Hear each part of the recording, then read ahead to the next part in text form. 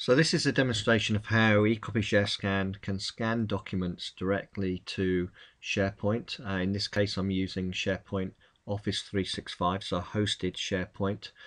And I'm going to be storing documents into this document library and uh, populating some column information. So the name will be the name of, uh, of the document and I'm actually going to name the document to the value of a barcode.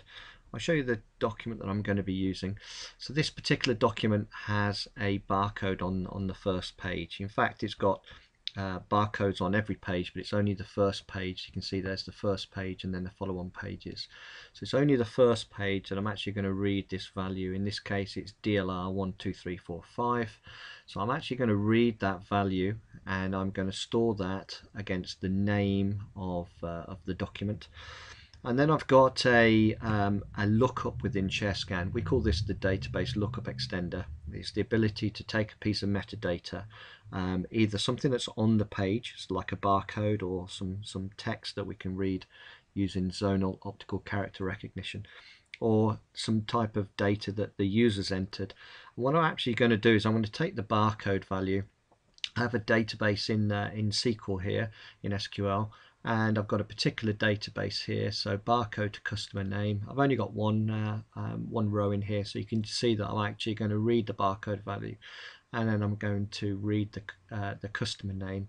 And what I'm actually going to do then is I'm going to map that customer name again to a column within SharePoint completely seamless, seamlessly without the user at the, at the device, at the MFP, um, having to type anything um, in particular. So um, without further ado, I'm just going to switch over. We have a, simulator built into the administration console of ShareScan. What we see here is a button SharePoint 365 barcode naming. The icon and the text uh, or the label of the button are completely editable by the administrator and you can choose whatever name you like. In this case I've just chosen something fairly descriptive. So I'm going to go ahead and just push the button. Now this is the, the screen that you would actually see on the MFP and on the MFP you'll see a real-time preview of the document that, that you've scanned. And if I just zoom into this page you can see there DLR 12345 so I know that this document is uh, is the right way up and I've done done something right so far. And I'm just going to send this document on on its way. Now there's no interaction in this process for the user.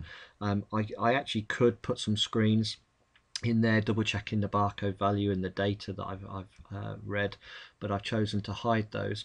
And if I just go and refresh this web page for SharePoint we'll see a document uh, document appear.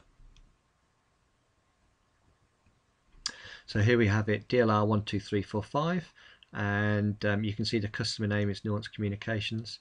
And if I actually click on the on the document and just say open you'll see the uh, the document opens and I've stored the document successfully within SharePoint.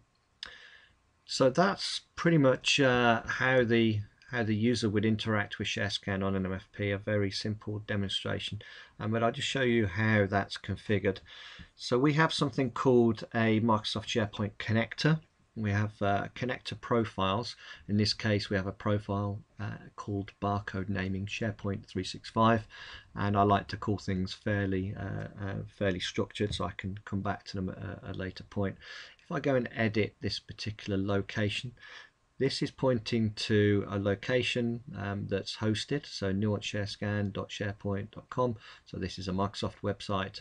Um, I can enable or disable the navigation. In this case, I actually had navigation disabled because there were no subfolders to navigate. Um, I could have complete control over navigation um, and disable some of the things that um, uh, I may not want the user to go to lists, for example and here you can see I've mapped a column with which is called customer name um, with uh, a piece of data. This uh, uh, yellow key here means that I've actually got a key that's published um, internally from the barcode value that I'm mapping. And then we've got some services. We have the database um, lookup extender and what we call the image control so our barcode template.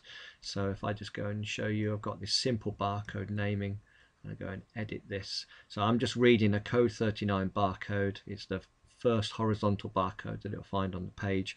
And I'm publishing that value to something I called internally barcode value. and then later on I'm actually using that barcode value and if I go to the database lookup extender and I go and show you what I've done here so I'm going to use this barcode value um, and uh, and go and look up in this table in the database and go and get the customer name. So I could I could test this. So if I type in DLR12345 I should get back nuance communications which I do.